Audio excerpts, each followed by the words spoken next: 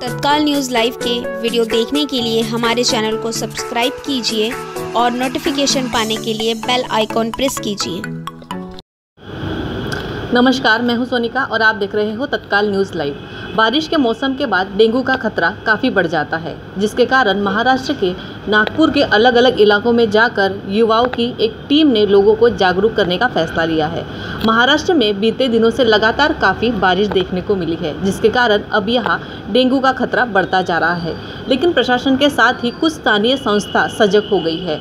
नागपुर के युवकों की एक टीम लोगों को डेंगू से बचाने के तरीके अपना रही है।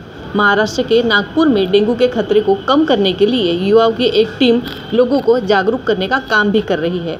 इसके लिए टीम के मेंबर लोगों को कीटाणुनाशक छिड़काव और डेंगू के बचाव के लिए क्या करें और क्या ना करें, इसकी जागरूकता दे रहे हैं।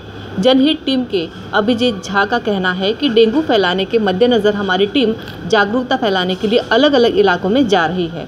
हाल ही में महाराष्ट्र के भंडारा ज़िले में रहने वाले एक युवक को डेंगू के इलाज के लिए नागपुर के निजी अस्पताल में भर्ती किया गया था, जहाँ डेंगू के कारण उनकी मौत हो गई, जिसके बाद भंडारा ज़िले में हड़कंप मच गया और लोगों को साफ़ सफ़ाई का ख्याल रखने के लिए कहा गया।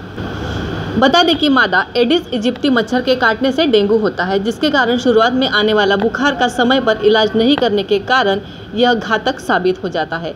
वही इससे बचाव के लिए साफ़ सफ़ाई का ध्यान रखना चाहिए। इसके साथ ही घर के आसपास किसी भी तरह के पानी को भी जमा नहीं होने देना चाहिए।